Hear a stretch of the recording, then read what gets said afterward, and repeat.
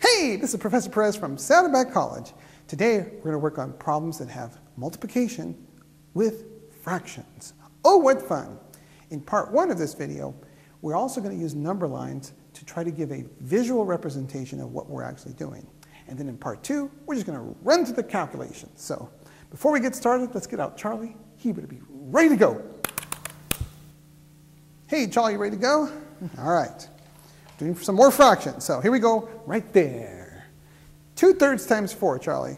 Now, you remember when we first introduced multiplication, we introduced it as addition. So I don't want the answer.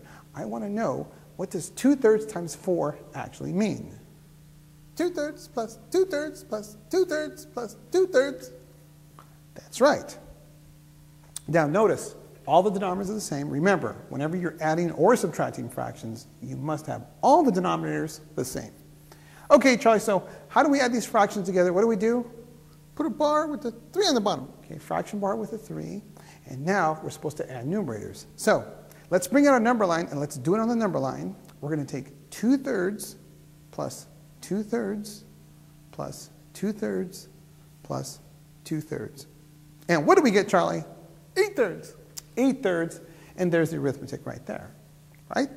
Okay, now let's do same problem, but we're just going to run through the arithmetic. Now, 2 thirds times 4, Charlie. First of all, how do we write 4 as a fraction? 4 over 1.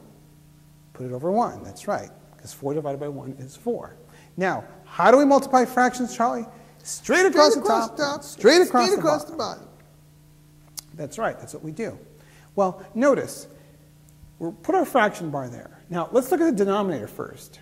3 times 1. What is 3 times 1, Charlie? 3. 3, of course. The denominator is going to remain the same whenever you take a fraction by a whole number, because when you write the whole number as a fraction, you're going to have a 1 on the bottom. So obviously, 3 times 1 is going to keep the denominator as 3. And what's 2 times 4, Charlie? 8. 8 thirds, and there you have it. So our answer is 8 thirds. So here we did it with the number line, and over here we did it with arithmetic. Now, in part two of this video, we're just going to do the arithmetic part. So, but in this video, we're going to do some, use some number lines. Okay, Charlie, let's go to another problem right there. Here is a number line, right? Here's 0, and there's 4. Now, we're going to look at 1 third times 4. Now, some people like to say this as a word statement, and they say 1 third of 4. What is one third of 4? Well, what does that mean? That means take 4 and break it up into three pieces. And that's what we did right here, right? Now, Charlie, what do you think one third of the 4 is? Four thirds? That's right, it is four thirds. Now, let's look at multiplication, one third times 4 as an addition problem. What does one third times 4 actually mean, Charlie? One third plus one third plus one third plus one That's third. right. Four of them being added together. Now let's do the arithmetic. We have one third. How do you write four as a fraction, Charlie? Four over one. That's right. And then you multiply straight across the top and straight across the bottom. And what's one times four, Charlie? Four. And three times one? Three. That's right. It is four thirds. So 1 third times 4 is 4 thirds, or you can say 1 third of 4 is 4 thirds. So we use a number line for it. Now, Charlie, here's a question for you.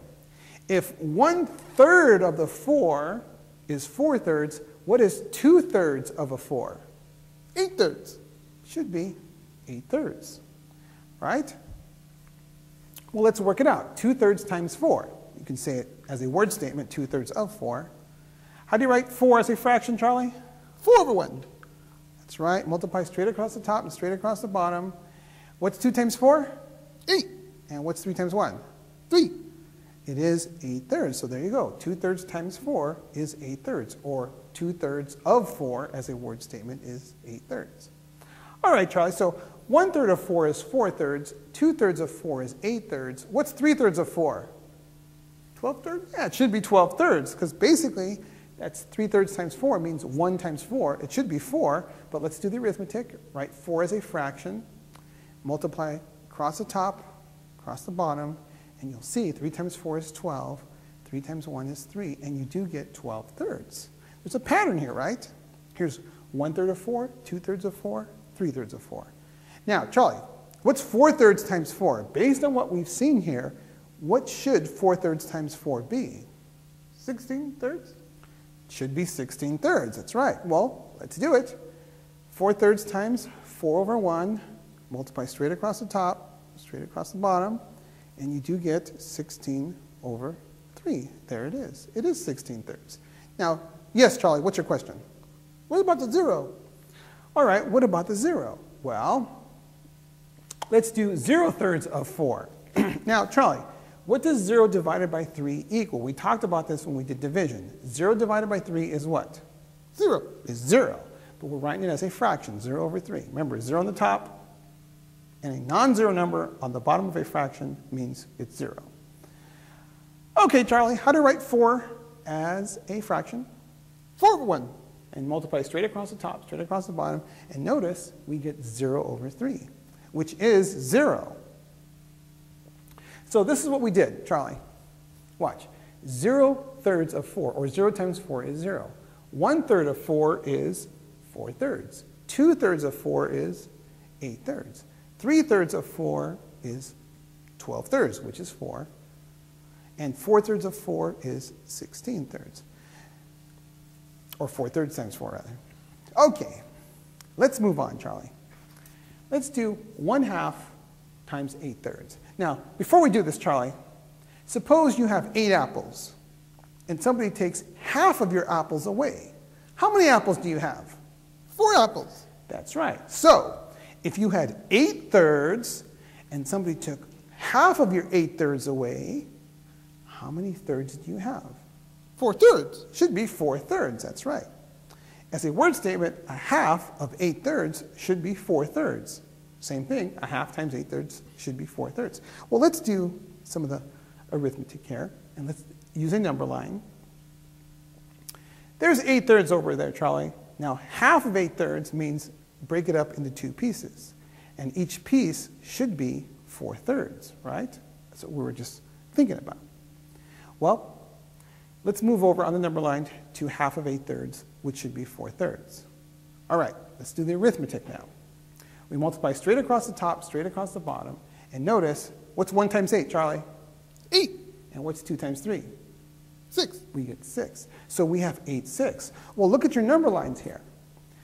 8, 6 reduces to what? 4 thirds. 4 thirds, that's right. So remember the last videos we're reducing. Now, what number divides evenly into an 8 and a 6, Charlie? 2. A 2. So we'll divide top and bottom by 2. Remember, whatever you divide the top by, you must divide the bottom by the same number. And what's 8 divided by 2? 4. And 6 divided by 2 3. is 3. So 1 half times 8 thirds, or half of 8 thirds, is 4 thirds. There it is in the arithmetic. There it is on the number line. All right. Well, let's do the arithmetic again, and we'll be doing a lot of this in the next video, part 2. Now watch, shall Charlie. 1 half times 8 thirds. What we're going to do is we're going to reduce before we multiply across the top and across the bottom. Now, some people refer to this as cross-canceling. Watch, you'll see what I mean. When you reduce fractions, Charlie, remember, you have to have a number from the top and you must have a number from the bottom, right? Now notice, we have an 8 and a 2. Both 8 and 2 are div both divisible by 2, right? And so watch, 8, we're going to divide that 8 by 2 and 2 divided by 2. And what's 8 divided by 2, Charlie? 4. And 2 divided by 2 1. is 1. So notice on top, remember we multiply straight across the top. On top, we have a 1 times a 4, Charlie. And on the bottom, we have 1 times a 3. And notice, we're going to continue our work. What's 1 times 4? 4. And 1 times 3? 3. And we get 4 thirds. So we're going to do a lot of those problems in the next part 2 video.